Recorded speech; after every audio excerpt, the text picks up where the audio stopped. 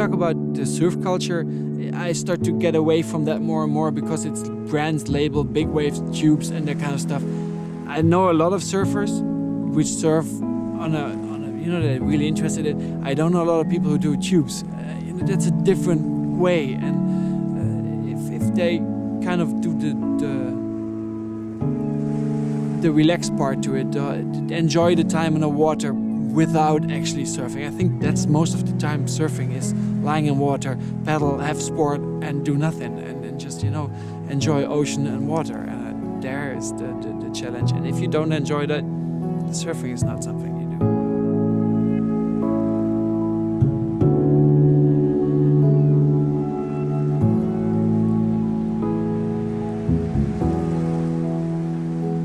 The people seem to get more closer and it's getting warmer uh, and not the other side around. I think family is more important here. And that's also what you find with the people that, that I met. It's more family. And, and, and we literally get into the family. That, that was fantastic here um, because I, I really met two genuine Portuguese families, one of Porto, one of Espinho, and we went on children holidays and uh, two places they have been going to for years, and that's fantastic. I mean, that, that is real travel.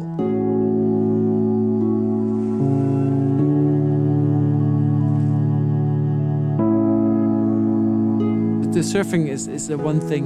If you look at the culture around it, it's a lot about easy living without a lot of materialistic ballast to it, and I think that's that's something nice.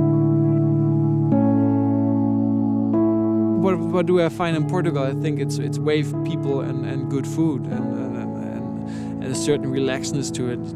Eh, it's it's less regulated than it is in Germany eh, and in Holland. It's less crowded, a lot less crowded actually, and that gives a space and, and time to relax and these slow it down a bit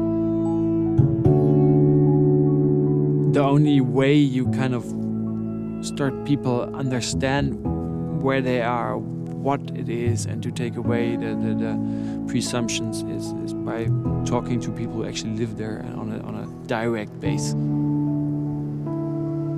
And I think that's a beautiful thing about traveling.